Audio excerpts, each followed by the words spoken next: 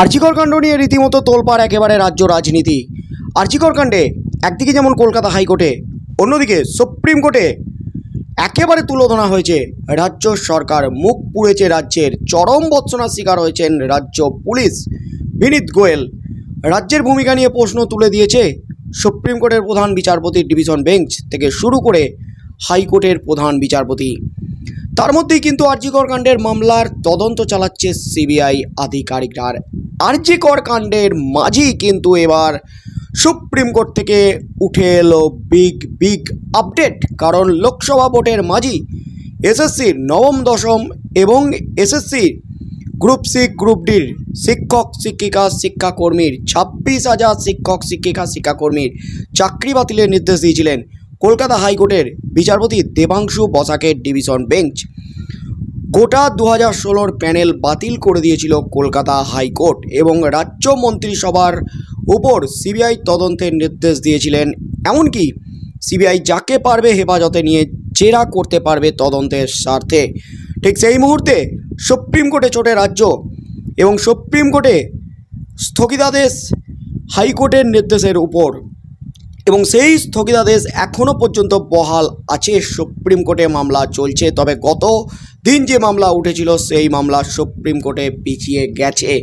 ছাব্বিশ হাজার শিক্ষক, শিক্ষিকা, শিক্ষাকর্মীর যে লিস্ট, যোগ্য অযোগ্যদের লিস্ট জমা দেওয়ার নির্দেশ দিয়েছিল সুপ্রিম কোর্টের প্রধান বিচারপতি। একদিকে যেমন রাজ্যকে, অন্যদিকে এসএসসিকে, অন্যদিকে মধ্যশিক্ষা পর্ষদকে। আর অবশেষে গত শুনানির দিনই কিন্তু এসএসসি মধ্যশিক্ষা পর্ষদ, তারা যোগ্য অযোগ্যদের লিস্ট জমা দিয়েছে আর মধ্যশিক্ষা পর্ষদ যে লিস্ট জমা দিয়েছে তাতেই কিন্তু রীতিমতো হইচই পড়ে গেছে গোটার রাজ্যে। তারা স্পষ্ট করেছে যে কোনো দুর্নীতির মাধ্যমে নিয়োগ হয়নি, সবাই স্বচ্ছভাবে নিয়োগ হয়েছিল। যে দুর্নীতি নিয়ে দু বছর ধরে তদন্ত চালাচ্ছে সিবিআই, যে দুর্নীতি নিয়ে চাকরি বিক্রি নিয়ে রীতিমতো তোলপাড় পড়ে গেছে। গোটা রাজ্যে গোটা রাজ্যে হইচই। যে দুর্নীতির জন্যই গ্রেপ্তার হয়ে এত দিন ধরে জেলে আছেন পার্থ চ্যাটার্জি, মানিক ভট্টাচার্যরা। এসএসসির ক্ষেত্রে কিন্তু এবার মধ্যশিক্ষা পর্ষদ জানালো সুপ্রিম কোর্টে যে কোনো দুর্নীতি হয়নি।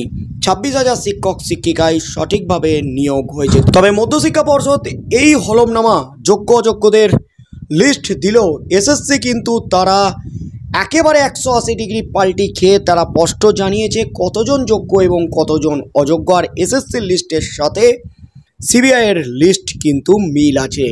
তাই এই মুহূর্তে চরম বিপাকে ছাব্বিশ হাজার শিক্ষক, শিক্ষিকা, শিক্ষাকর্মী তাদের ভবিষ্যৎ কিন্তু ঝুলে আছে সুপ্রিম কোর্টে। আর আরজিকর কাণ্ডে যখন হইচই গোটা রাজ্যে, ঠিক সেই মুহূর্তে এবার সুপ্রিম কোর্ট থেকে উঠে এলো ছাব্বিশ হাজার শিক্ষক, শিক্ষিকা, শিক্ষাকর্মী চাকরি বাতিলের মামলার বড় আপডেট। বড় সিদ্ধান্ত নিলেন, চরম সিদ্ধান্ত নিলেন মামলার নিষ্পত্তিতে প্রধান বিচারপতি ডি ওয়াই চন্দ্রচূড়। এই মুহূর্তের সবচেয়ে বড় খবর, এমনিতেই কিন্তু চরম দুশ্চিন্তায় রাজ্যের হাজার হাজার শিক্ষক, শিক্ষিকা, শিক্ষাকর্মী, তাদের চাকরি থাকবে কি থাকবে না সেটা কিন্তু নির্ভর করছে সুপ্রিম কোর্টের উপর। তার মধ্যেই কিন্তু যোগ্য শিক্ষক, শিক্ষিকা, যোগ্য যে সমস্ত চাকরি প্রার্থী, তারা দিনের পর দিন চাকরির দাবিতে রাস্তায় আন্দোলন চালিয়ে যাচ্ছেন। আর তার মধ্যেই কিন্তু এবার বড় পদক্ষেপ, বড় ঘোষণা করলেন সুপ্রিম কোর্টের প্রধান বিচারপতি। এই মুহূর্তে সবচেয়ে বড় খবর, এসএসসি নিয়োগ দুর্নীতির কারণে বাতিল হওয়া ছাব্বিশ হাজার চাকরি নিয়ে আদালতে ঝুলে থাকা মামলায় আরও গুরুত্বপূর্ণ আপডেট এসেছে সুপ্রিম কোর্ট থেকে। সুপ্রিম কোর্টের নির্দেশে আপাতত যোগ্য এবং অযোগ্য উভয়ের চাকরি বহাল রয়েছে। তবে মামলার চূড়ান্ত শুনানি এখনও পর্যন্ত হয়নি।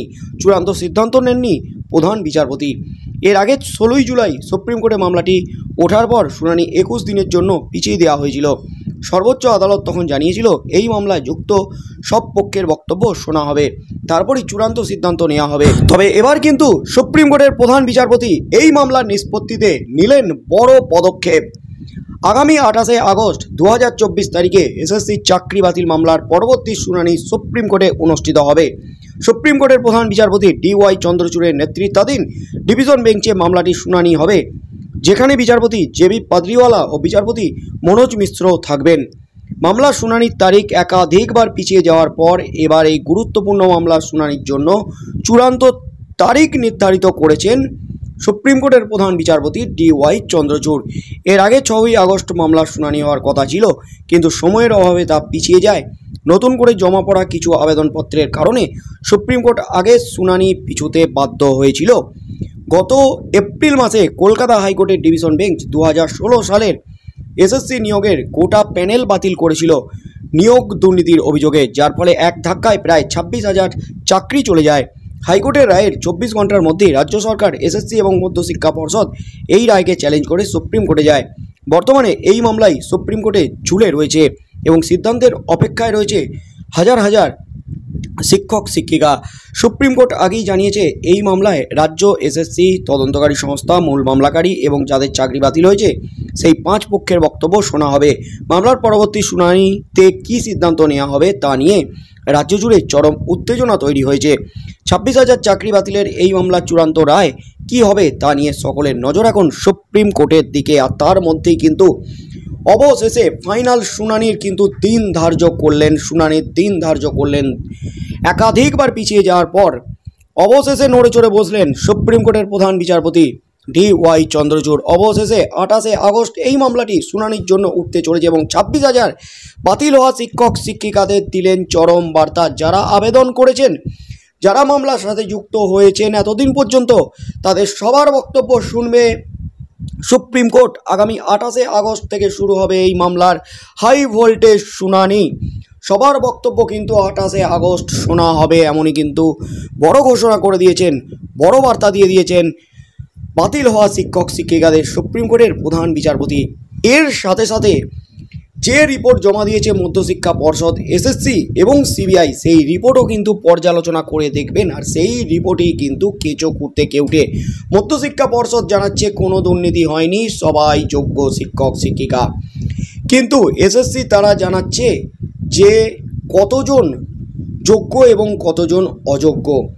এসএসসির রিপোর্ট এবং মধ্যশিক্ষা পর্ষদের রিপোর্টের কিন্তু কোনো মিল নেই, এমনই কিন্তু খবর উঠে আসছে। আর এদিকে কিন্তু সিবিআইয়ের যে যোগ্য অযোগ্য লিস্ট তার সাথে এসএসসির যোগ্য অযোগ্য লিস্টের কিন্তু মিল রয়েছে। তাই আগামী শুনানিতে এই ছাব্বিশ হাজার শিক্ষক শিক্ষিকাদের মধ্যে যারা এই মামলায় যুক্ত হয়েছেন, তাদের বক্তব্য শুনবেন। প্রধান বিচারপতি কি বক্তব্য রাখবেন, কি তথ্য প্রমাণ তুলে ধরবেন, তাদের কি যুক্তি দেখাবেন, তাদের যে চাকরি, সেই চাকরিটা বহাল রাখতে তারা যে ন্যায্যভাবে চাকরি পেয়েছিলেন, তারা যে যোগ্য এটা কি প্রমাণ করতে পারবেন? ওই সমস্ত বাতিল হওয়া শিক্ষক, শিক্ষিকারা?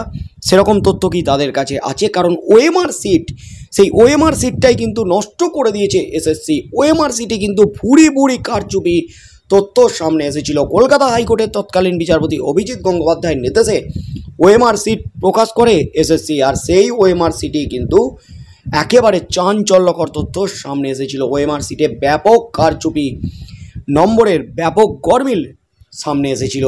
তাই যে সমস্ত বাতিল হওয়া শিক্ষক শিক্ষিকারা এই মুহূর্তে সুপ্রিম কোর্টের দ্বারস্থ হয়েছেন, তারা কীভাবে প্রমাণ করবেন তাদের চাকরিটি? ন্যায্য যোগ্যতার ভিত্তিতে তারা চাকরি পেয়েছেন। তবে সুপ্রিম কোর্টের প্রধান বিচারপতি এই সমস্ত পর্যালোচনা করে, এই রিপোর্ট পর্যালোচনা করে কী সিদ্ধান্তে উপনীত হতে চলেছেন? আগামী আঠাশে আগস্টে কি ফাইনাল জাজমেন্ট, ফাইনাল নির্দেশ কি দেবেন সুপ্রিম কোর্টের প্রধান বিচারপতি? এমনিতেই কিন্তু রাজ্যের উপরে তেলে বেগুনে চলে আছেন এই আর্জিকর কাণ্ড নিয়ে সুপ্রিম কোর্টের প্রধান বিচারপতি। তার মধ্যেই কিন্তু আর দুদিন পরে উঠতে চলেছে সুপ্রিম কোর্টে এই আরজিকর মামলার মাঝি। শিক্ষক নিয়োগ দুর্নীতিকাণ্ডের ছাব্বিশ হাজার শিক্ষক, শিক্ষিকা শিক্ষাকর্মীর চাকরি বাতিল মামলা। এই মামলায় শেষ পর্যন্ত কী নির্দেশ দেন সুপ্রিম কোর্টের প্রধান বিচারপতি? সেদিকেই চোখ থাকবে কোটা রাজ্যের।